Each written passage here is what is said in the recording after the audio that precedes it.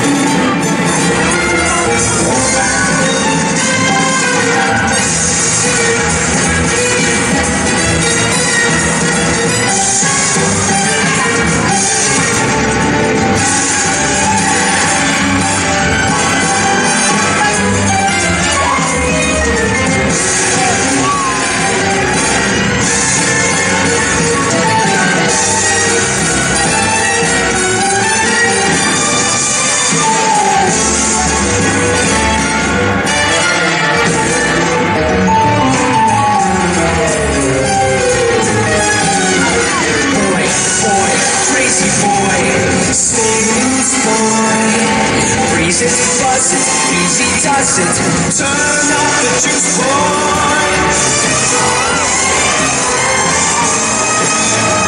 Just play it cool, boy.